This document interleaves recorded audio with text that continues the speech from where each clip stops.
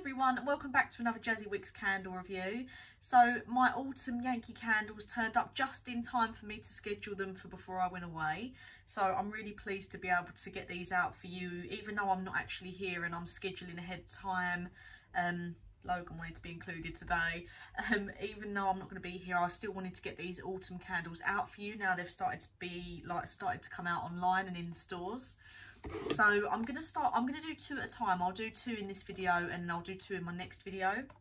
So today I'm going to start off with A Night Under the Stars and Pecan Pie Bites. So I don't know why I went with these two first. They're just the two I picked off the pile, but I'm so grateful that Wax Addicts sent me these just in time for me to get reviewed because I didn't want it to end up being too late. I like trying to be ahead of everything so you guys can get out there and buy them um, before they start being discontinued again. Um, so yeah, I'll review on A Night Under the Stars first. So we've got, I don't know, you can see it a little bit left in there. It's like a really dark blue colour. I will put in pictures as I go along as well of each candle and in the next video, just because I like to see what it looks like as well in the actual jar.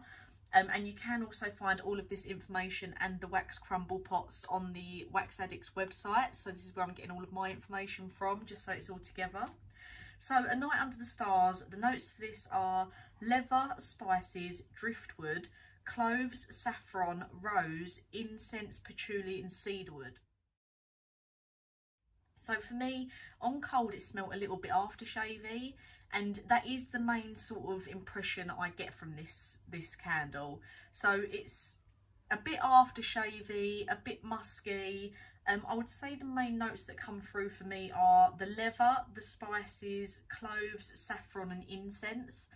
So it's not too like pow in your face um, aftershave. It's not like that, not perfumey or anything. But it's just that, that undertone of the musk comes through quite a bit. Um, the leather and the spices. It's a really nice scent. Um, perfect for autumn. I think they've released it really at the right time. I've really enjoyed burning it. I didn't think I would. I didn't think it would be a scent that was really for me. But I have really enjoyed burning it. I'd say throw rating 8 out of 10 i think if you was burning this with the jar under the lamp like what i normally use i think it would be absolutely amazing. Um really nice really strong and like i say i think it is a bit of a manlier smell. Um so if you do normally like your musky smells after shavy then this is definitely a good one for you to try. Um and then we've got pecan pie bites.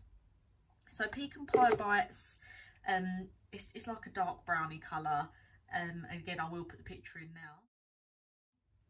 So Pecan Pie Bite says cinnamon leaves, caramelised sugar and pure honey with white hazelnuts, pecans, dark chocolate, cloves, oak wood and smoked cedar. So I was expecting this to be one of my favourites, but unfortunately once I was burning them, I figured it wasn't.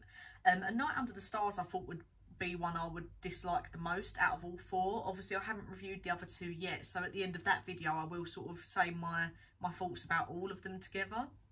But for this one, I thought Pecan Pie Bites would be my favourite and it hasn't hit the mark for me. A Night Under the Stars was a lot better. So Pecan Pie Bites, it's got cinnamon leaves in it, so I expected it to be really cinnamony, um, which is obviously my favourite. It wasn't.